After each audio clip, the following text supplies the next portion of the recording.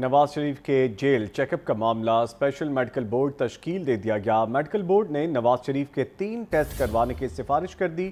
Report میں کہا گیا ہے کہ نواز شریف دو ہزار ایک سے دل کے عارضے میں مبتلا ہیں۔ آگاہ کر رہے ہیں آپ کو کہ نواز شریف کے جیل چیک اپ کا معاملہ ہے یہ۔ اسپیشل میڈیکل بورڈ تشکیل دے دیا گیا ہے، جبکہ میڈیکل بورڈ نے نواز شریف کے تین ٹیسٹ کروانے کی سفارش کر دی ہے۔ اس بارے میں مزید تفصیلات عمر جاوید ہمیں بتا رہے ہیں۔ عمر جاوید، بتائیے اس بارے میں۔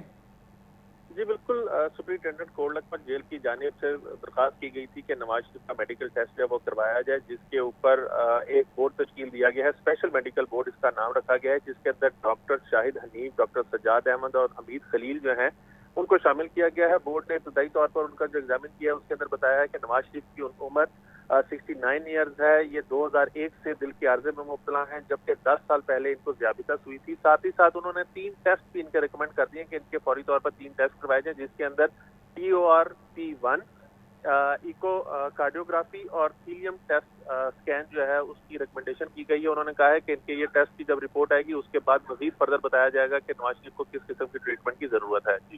شکریہ، عمر جاوید۔